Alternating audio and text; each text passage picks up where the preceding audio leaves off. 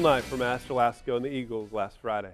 Well, I had the chance to share with the Hardin Northern Fellowship of Christian Athletes group this morning the Polar Bears in their third year with an FCA huddle, and they've seen God work in their school.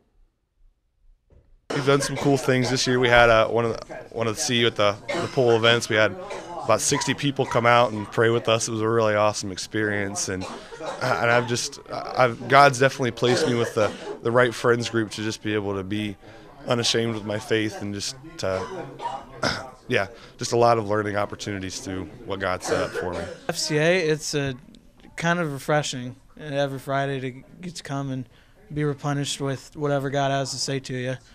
Or you get to replenish others if you get to do the lesson. I think it's helped me break out of my shell a little bit to open up in front of lots of other people instead of just a small group.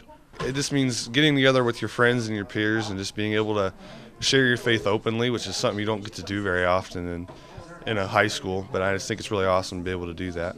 And as these leaders step out in new ways, God is showing them a new level in their faith. Personally, God's just been teaching me a lot about my relationship with Him and just the fact that it is a relationship, and I, I forget that a lot. And um, just through FCA, I've just I've really learned to be more comfortable and open with my faith, and that it's not something I should be afraid of, and it be should something that I should be proud of, and something that I shouldn't be afraid to talk about with with my friends and my peers. Been becoming more of a relationship, kind of similar to him.